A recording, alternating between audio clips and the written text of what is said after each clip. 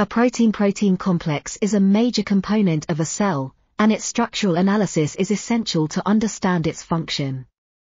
The structure of the complex is determined mostly by its interactions with other proteins, but a more fundamental approach is to consider the interactions between the proteins as a whole.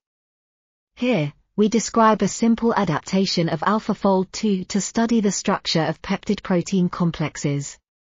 We show that the approach provides substantially improved performance in predicting the structural interactions between these complexes, and we describe the underlying mechanisms and limitations of this approach.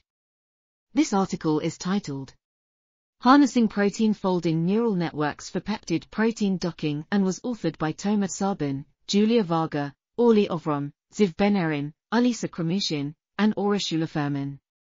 We are RTCL.TV. Article links can be found in the video description.